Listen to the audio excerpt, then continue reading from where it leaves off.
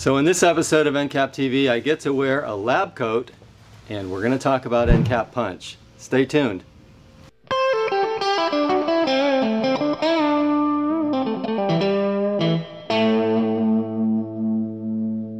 So have you ever heard someone say, I put off cleaning the carpet as long as possible because I knew that once I cleaned the carpet the first time, it's just going to keep getting dirty after it's been cleaned. You've no doubt run across that. People have been saying that for years. Well, why do people say that? Well, the reason why is because when we clean carpet, we're going to leave something behind. We like to get out everything. We try to get out all the dirt. But the chemistry that we work with is going to stay in the carpet to a limited extent. So to illustrate what we're talking about, I set up this little science project here for you.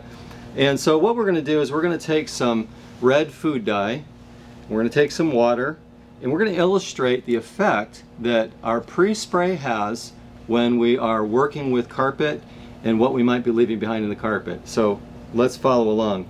So what I'm going to do is I'm going to take some of our red food dye and what I'm going to do is I'm going to take about one milliliter into an eight ounce cup of water. Now the, the bottom mark here on this is one milliliter so I'm going to get it as close as I can get to one milliliter. That looks like we're right on it right there. We're going to put that into a cup of eight ounces of water.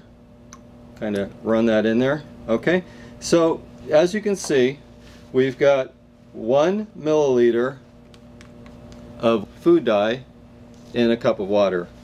So hopefully you can see that. You can see how red that is. I'll put it in front of my cool white lab coat here. You can see how red. Now now keep in mind that's one milliliter of dye to eight ounces of water. That's a pretty big dilution uh, ratio when you think about one milliliter versus eight ounces of water. Now what I'm going to do is I'm going to take about a milliliter of this diluted water and dye and I'm going to bring it over here into this cup of plain water. Now watch what happens.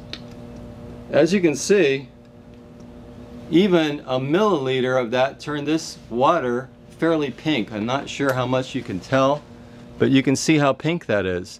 So in other words, that's a milliliter diluted in eight ounces of water. I'm holding it up against my, my cool lab coat here so you can see what I'm talking about. So diluted, we've got this so diluted, and yet we're leaving residue. One milliliter to eight ounces, and a milliliter of this concoction in another eight ounces, and it's still turning the water pink. So what's the point of this exercise with dye in water?